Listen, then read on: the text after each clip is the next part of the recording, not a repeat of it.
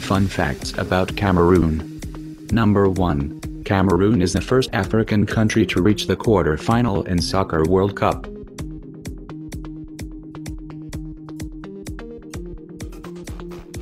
Number 2.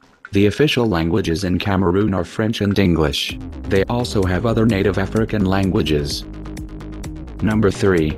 Cameroon celebrated its first Independence Day from the France and England on October 1, 1960.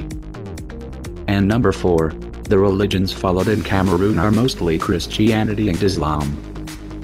Number 5. More than 30% of the total population lives at less than $1.25 per day. Number 6. Cameroon is famous for producing coffee, cocoa, cotton, bananas and oil seeds.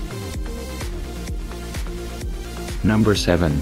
Cameroon has the tallest mountain in West Africa, Mount Cameroon. Number 8. Cameroon is one of the wettest lands on the earth with annual rainfall of about 1028 centimeters. Number 9. The Cameroon flag has a star in three colors, green for vegetation, red for independence and yellow for sunshine. Number 10.